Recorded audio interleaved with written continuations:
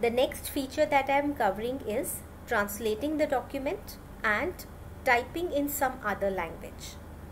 So I'll be covering translating the document first. In order to translate the complete document in some other language, I should select from the tools menu the option of translate document.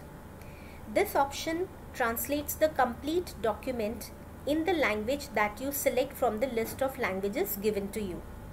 So when I click on the translate document, it tells us that it will be creating a separate copy of the current document which will be in the language that we choose from this list box. So this is the new document title it will be giving translated copy of the first document which I can change. So I'm giving Hindi translation. Now I need to uh, select the language in which I need to do the translation. So from this list box I can select any language I am selecting currently the Hindi language because I wish to translate the document in Hindi. Once it is done, I need to click on the translate button.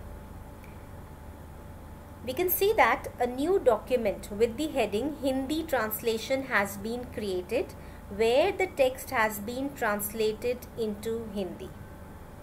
In the similar fashion, we can translate the document in any language that we desire.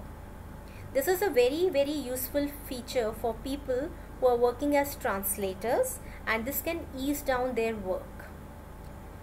The next feature that I am covering here is when we wish to type in some other language rather than English. So I'll have to go to the file menu. In the file menu, menu there's an option of language from where I can select the language in which I wish to type. So suppose I wish to type in Hindi directly. Yeah.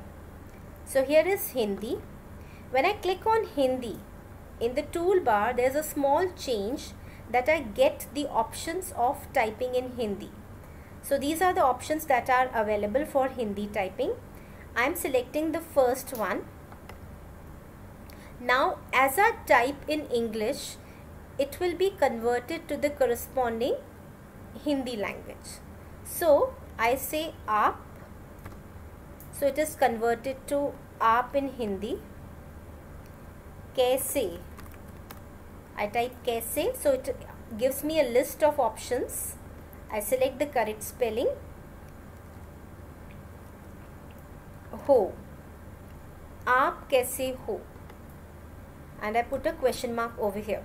So in this way I am trans actually typing Hindi in English and the Google Doc is translating it into Hindi.